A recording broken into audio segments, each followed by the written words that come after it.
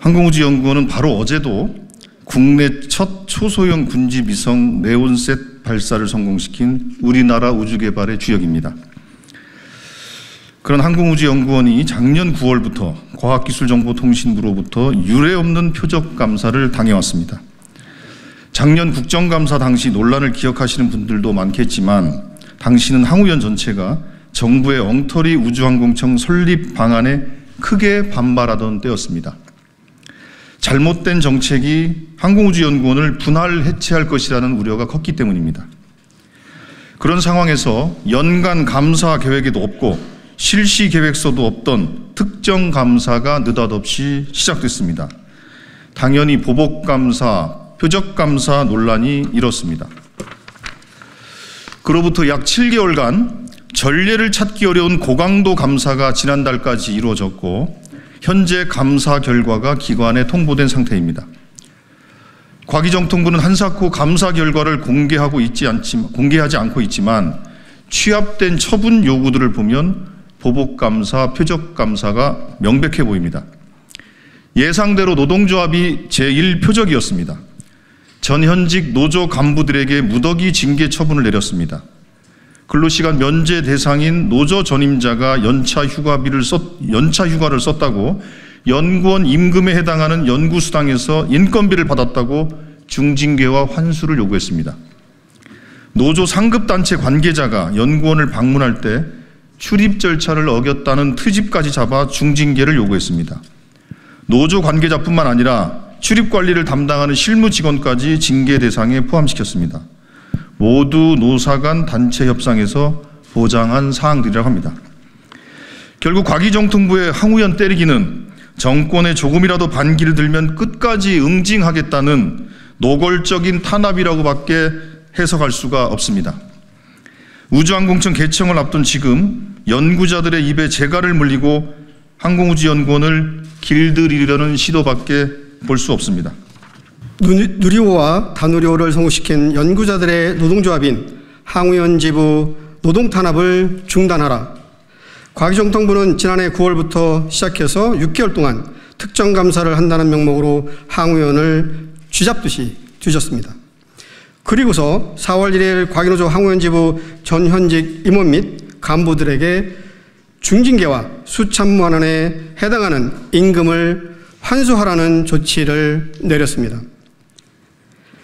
노조 전임자에 대한 불이익 금지 조항이 관련법에 따라 노사 간 체결한 단체 협약서에 명시되어 있음에도 불구하고 노사 관계에 노골적으로 지배 개입하고 노사 간 체결한 단체 협약을 완전히 부정하며 노동법을 완전히 무시하고 있습니다.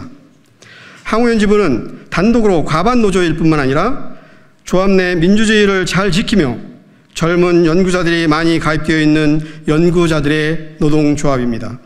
지금 중징계를 받은 전현직 임원 전임자들이야말로 조합원의 의견과 연구 현장의 목소리를 전달하기 위해 자신을 희생해가면서 최선을 다해 다한 간부들입니다. 지금 이 노동 탄압은 R&D 예산 사건과 출연연 구조조정을 앞서서 반대하고 규탄과 전국 과학기술 노동조합에 대한 노동 탄압입니다. 대한민국의 우주 개발을 책임지고 있는 연구자들의 입에 재갈을 물리고 항우연을 자기 멋대로 요리해 먹겠다는 자들의 침탈입니다. 전국 과학기술 노동조합의 위원장으로서 묻고 싶습니다. 이것이 누리호와 다누리호를 성공시킨 연구자들에 대한 대한민국의 답변입니까? 관료들이 앞에서 이끌고 검사들이 뒤에서 정리하면서 연구 현장을 쑥대밭을 만들고서 이 나라가 잘 되기를 기대하십니까? 우리 아이들에게 잘 봐라. 국가를 위해 충성한 사람들이 어떻게 되는지, 권력에 급신거리고 관료나 검사들처럼 살아야, 살아야 하는 거다라고 이야기하고 싶습니까? 해병대에서 벌어진 일이 남의 일 같지 않습니다. 이게 정말 나라입니까? 윤석열 정부는 당장 항우연에 대한 과기정통부의 특정감사 결과 전체를 취소할 것을 촉구합니다. 그리고 항우연은 즉시 부당한 징계로부터 연구자들을 지킬 수 있는 최소한의 제도적 장치를 마련할 것을 촉구합니다. 그리고 국회에 요청드립니다. 항우연 표적감사와 노동 탄압은 R&D 예산 삭감권과 무관하지 않습니다. 당장 국정조사를 시작해 주십시오. 지금 막지 못한다면 대한민국의 과학기술은 더 이상 돌이킬 수 없게 될 것입니다. 항우연 노동조합은 연구자들의 마지막 버팀목입니다. 항우연을 지켜주십시오.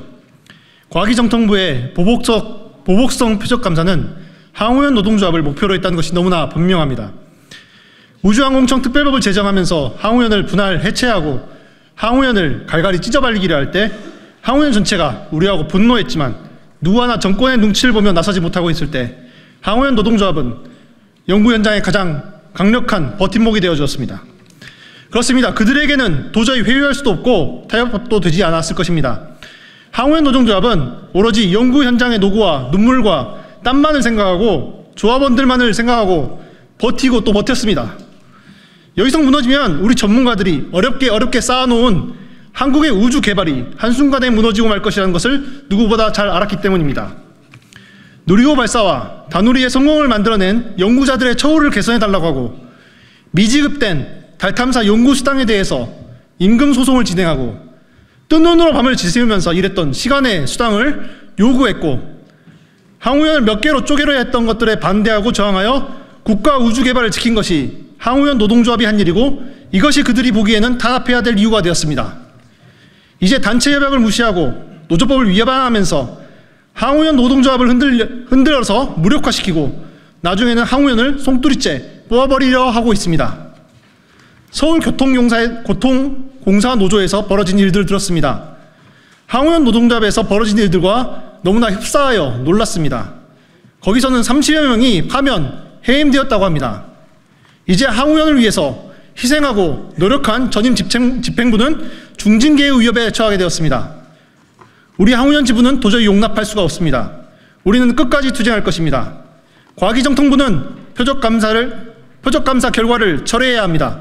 그리고 국회는 또 도대체 왜 이런 말도 안 되는 일들이 벌어지고 있는지 조사해야 합니다. 국민들께도 부탁드립니다. 항우연을 지켜주시기 바랍니다. 지난 2023년 9월 4일부터 2024년 3월 27일까지 206일간 과학기술정보통신부는 항우연에 대해서 특정 감사를 실시했습니다. 약 7개월 동안 감사를 실시한 결과 과기부는 최근 5년간 근무한 노동조합 위원장과 사무국장 전원에 대해서 징계할 것을 요구했습니다. 그러나 과기부의 징계 사유를 보면 보복성, 표적성 감사임이 분명하게 드러났고 노동조합과 노동조합법에 대한 이해가 있으면 도저히 성립할 수 없는 내용입니다. 첫 번째로 근로시간 면제자의 연차휴가 사용 부분입니다. 과기부는 노동조합 전임자들이 근로시간 면제를 받으면 연차휴가가 발생하지 않는데 전임자들이 연차휴가를 사용하였기 때문에 어, 위법하다고 판단했습니다. 그러나 항우연 노사가 체결한 단체협약상 근로시간 면제자에 대해서는 일체 불이익행위가 금지되고 통상 근무한 것으로 간주되므로 각자 연차휴가를 사용하는 데는 아무런 문제가 없습니다. 또한 노조 전임자들은 항우연 전산 시스템을 이용해서 연차휴가를 신청했습니다. 노조 전임자들의 연차휴가 사용 현황을 항우연은 너무나 잘 알고 있었습니다. 이것을 숨기고 어, 몰래 갔다 온 것이 아닙니다. 두 번째는 근로시간 면제자의 연구수당 지급 문제입니다. 과기부는 풀타임 근로시간 면제를 받는 기간 동안 연구 개발 사업에 참여하여 연구수당을 받은 것은 위법하다고 환수 조치를 내렸습니다. 그러나 노조 전임자들도 모두 과학자이고 노동조합 활동을 하기 전으로 누리호와 인공위성을 개발하였습니다. 노조 전임자가 급여를 받기 위해서는 연구개발 과제에 참여하여 인건비를 받아야 합니다. 인건비를 받으면 항우연 연구수당 지급 기준에 따라 연구수당도 당연히 임금으로 지급해야 합니다. 근로시간 면제를 받는다는 이유로 연구수당을 지급하지 않으면 다른 연구원들에 비해 역차별을 받는 것이고 연봉의 20%에 달하는 손해를 감수하는 것입니다. 대전지방법원도 판결을 두 차례나 했습니다만 연구수당은 임금입니다. 세 번째는 외부인 출입 관리 부실입니다. 지난 2021년 개정된 노동조합법 제5조 2항은 비종사 근로자, 즉 항우연에 소속되지 않은 조합원이라 하더라도 사업 운영에 지장을 주지 않으면 사업장 내에서 노동조합 활동을 할 수 있다라고 보장하고 있습니다. 항우연 단체협약은 노동조합 상급 단체 관계자가 조합 사무- 사무실에 자유롭게 출입하는 것을 보장하고 있습니다. 이쯤 되면 과기부 감사 담당관들은 항우연 단체협약과 노동관계법을 아예 읽어보지 않았는지 아니면 알고도 무시한 것인지 이해하기 어렵습니다. 이번 감사 조치 대상자가 된 연구원 전원은 지난 2024년 4월 18일 기관에 재심의를 신청했습니다. 또한 징계 및 환수 조치가 확정, 집행되면 취소 소송 등 법적 조치에 나설 것입니다. 감사 결과가 그 따라 징계가 이루어진다면 적법한 노동조합 활동에 대해서 불이익 취급의 부당노동행위에 해당하므로 이를 교사한 과기부에 대해서도 부당노동행위 교사범의 책임을 묻는 것을 검토하겠습니다. 또한 이번 감사는 관계 법령에 위반하여 객관적 정당성을 상실한 위법한 감사이므로 국가 배상을 청구하고 개별 감사 담당관에 관해서도 국가 배상을 청구하는 것을 검토하겠습니다. 이상입니다. 감사합니다. 전례가 없이 계획에도 없던 감사를 느닷없이 시작을 하면서 그 결과라고 내놓은 것이 정말로 황당하게 이를 데 없는 단체 협약을 통해서 노사 간에 합의된 내용을 과기부가 감사를 통해서 보복 감사를 통해서 전면으로 뒤집는 그런 행위를 했다라는 겁니다. 왜 이렇게까지 보복 감사를 진행해야 했는지에 대해서는 앞서 말씀드린 것처럼 여러 가지 괘씸죄들을 적용한 것으로밖에 달리 이해할 수가 없을 것 같습니다.